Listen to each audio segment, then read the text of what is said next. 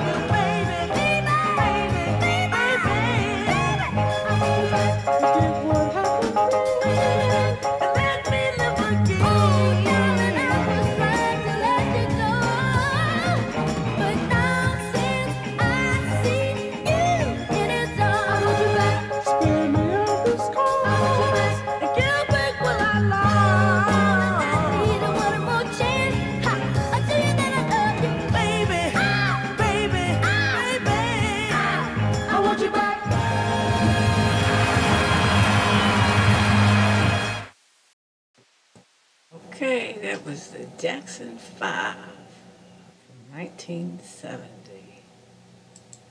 69, excuse me, 69. Uh, this is one of those things where you don't know what you've got till it's gone. Ooh, sounds like a title to a song.